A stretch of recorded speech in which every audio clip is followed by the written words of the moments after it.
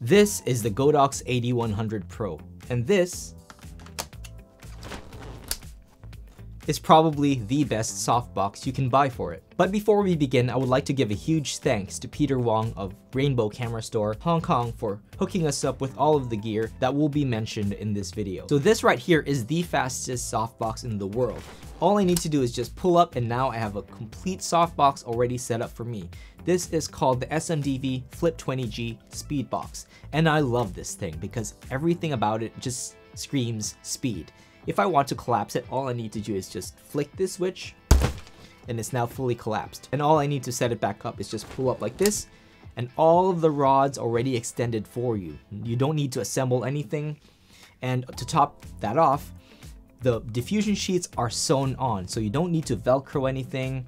This is a double diffused softbox, so there's one interior and one exterior diffusion sheet. So one thing I love about the Flip 20 Speedbox is that it kicks the S2 bracket out of the ball game. You don't need something like this anymore because we all know how heavy this thing is because now if I want to attach an AD100 Pro onto a light stand, I need to put this into an S2 bracket and then tighten it and then put it onto a light stand.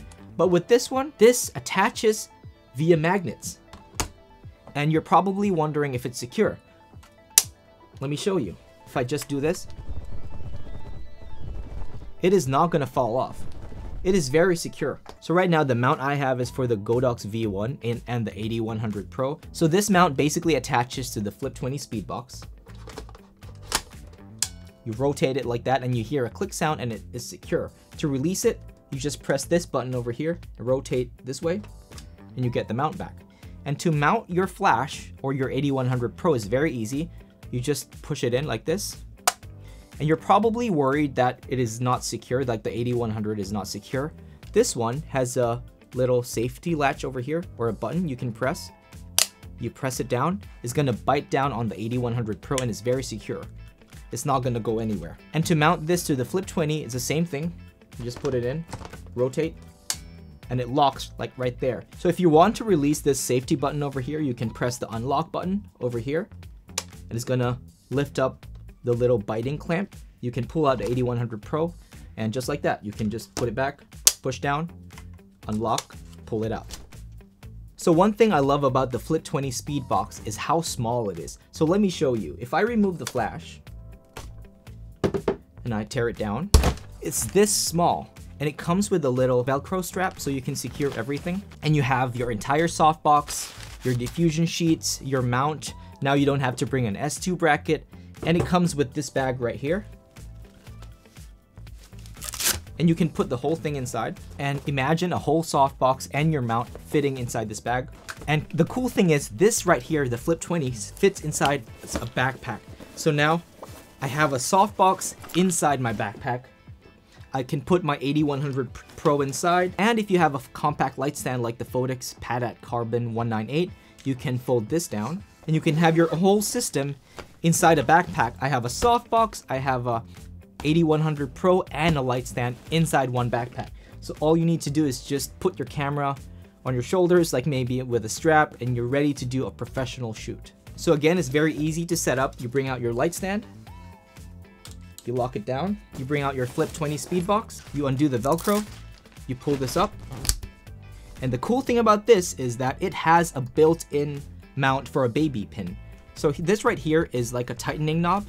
So all I need to do is just place it onto this baby pin and then rotate it clockwise.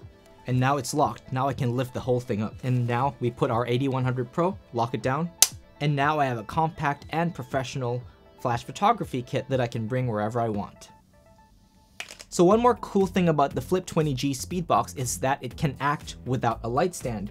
This includes a little handle, so if we undo the tightening knob right here, now I can just hold it. So if you have an assistant, your assistant can just hold it over your subject. So one more bonus thing that SMDV included here is that this does not need a ball head whatsoever because normally if you mount a light onto a light stand, you will need a ball head of some sort to be able to tilt it or direct the light where you want. But this one, it has a built-in tilting mechanism.